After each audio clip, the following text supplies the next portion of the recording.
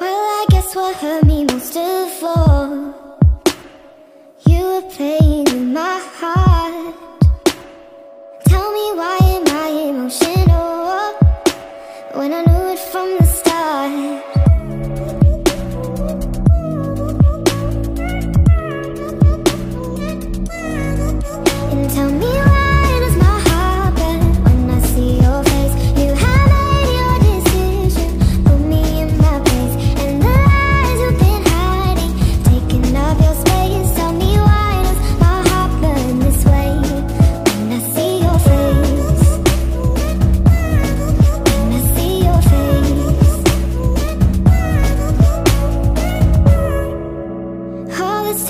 leaves me wanting